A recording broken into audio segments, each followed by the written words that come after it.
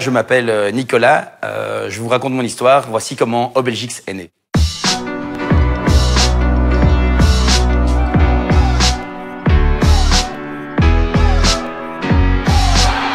Mon histoire a commencé à la Coupe du Monde lorsque j'ai assisté à mon premier match en tant que supporter euh, dans ce fameux stade mythique Maracana euh, à Rio de Janeiro.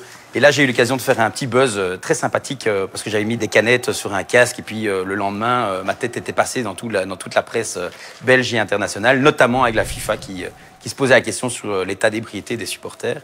Et en revenant de cette fameuse Coupe du Monde, j'ai passé des moments inoubliables. on jouait en 2015 un match contre la France. Et euh, je me suis dit, mais pourquoi pas trouver un, déguisement qui correspond au final à, ma personnalité, mais qui est un symbole aussi euh, du match euh, France-Belgique. Et donc je me suis dit, mais pourquoi pas acheter un déguisement, le déguisement d'Obélix Le déguisement était en bleu et blanc. Et donc j'ai été dans un magasin et j'ai acheté plein de bombes de couleurs. Je l'ai peinturé dans les couleurs de notre pays, noir, jaune, rouge. Et de là, bon, on se dirige avec tous nos amis, on, arrive à Paris et on se dit mais il faudrait, moi je me dis il faudrait une petite touche encore plus agressive, un peu plus euh, qui sort du commun et je me dis mais pourquoi pas prendre un poulet, un poulet français bah, qui représente le coq euh, français. Et donc euh, on tombe par hasard en marchant sur une petite échoppe sur un marché et ils vendaient des poulets cuits. Et donc voilà, voilà avec mon poulet cuit, je me dirige vers le stade.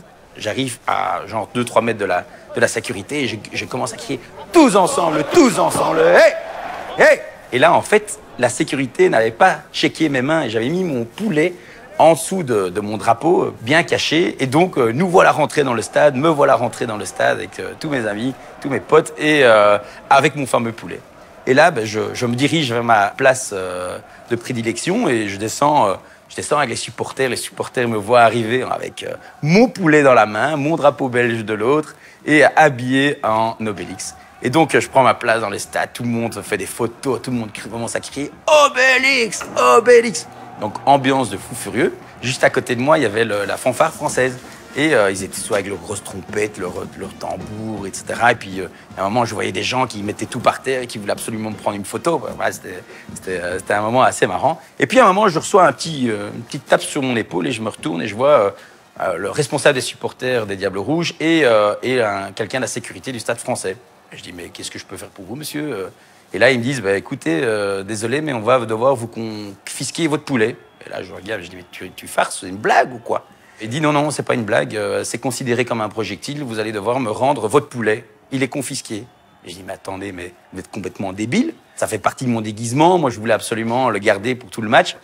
Et à un moment, bon, le gars me dit, il se retourne, il dit, euh, bon, écoutez, je suis désolé, mais vous n'allez pas pouvoir assister au match si vous ne me rendez pas le poulet. Et derrière lui, il y avait un gars, un mastodonte, un, responsable de la sécurité encore plus balèze. Bon, peut-être pas aussi balèze que moi, c'est une blague. À ce moment-là, je lui dis, vous savez quoi, laissez-moi deux minutes. Et je prends le poulet et je commence à le dévorer. Je prends le blanc poulet, je l'avale, et puis je crache quelques petits os par terre, etc. Et puis me voilà avec ces carcasses de poulet. Et je dis, mais tu sais quoi maintenant? Tu voulais mon poulet? Ben là, voilà ta carcasse. Tiens, allez, dégage maintenant. Là, euh, bah, tout le monde commence à crier Obélix, Obélix à nouveau. Donc c'était vraiment fantastique. Et l'autre, tout penaud avec son petit poulet, il se dit Mais qu'est-ce qu'il fait celui-là? Euh, C'est qui qui, qui, vient dans un stade avec un poulet, euh, un vrai poulet, un poulet cuit?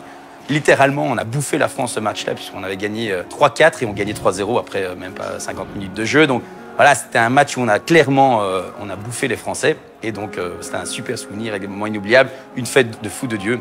Et puis alors, sur le, chemin du retour, ben, me voilà avec euh, mes amis. Euh, euh, je puais vraiment littéralement le poulet, quoi. Le vieux poulet, c'était dégueulasse. Attends, c'est quoi cette odeur de chacal?